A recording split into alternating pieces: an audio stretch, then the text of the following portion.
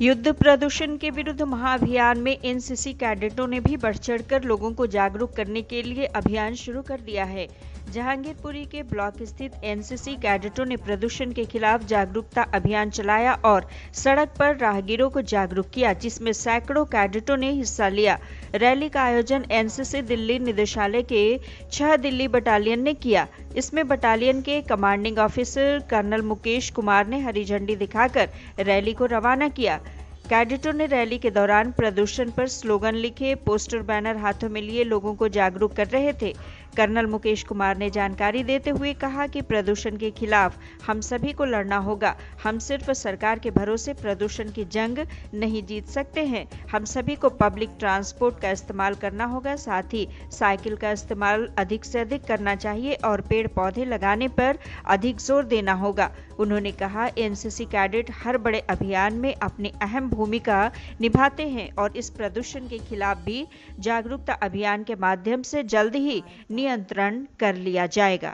इस रैली का मुख्य उद्देश्य हमारे कैडेट, एनसीसी कैडेट, सामूहिक कार्य, जो भी होते हैं, सामाजिक कार्य, उनमें बढ़ चढ़ के हिस्सा लेते हैं। किसी प्रकार की कोई आपदा हो इससे कुछ टाइम पहले कोविड नाइन्टीन चला था, उसमें हमारे दिल्ली के तकरीबन पच्चीस लोग कैडेटों ने हिस्सा लिया था और एक बहुत अच्छा बंदोबस्त किया था स्कूलों में, ड्यूटी से लेकर के और दूसरे खाना डिस्ट्रीब्यूशन तक।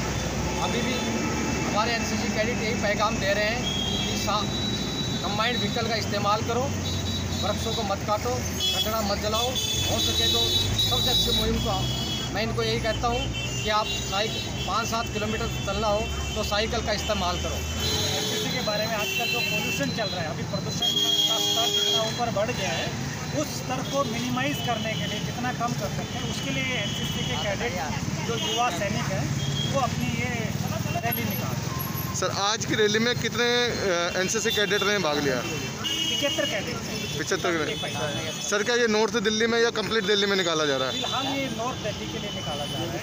हाँ। स्कूल ने इनिशिएटिव लिया है हाँ, हाँ। उसके ऊपर कितना असर लगेगा उसके बाद इसके आगे आगे इसको पहचान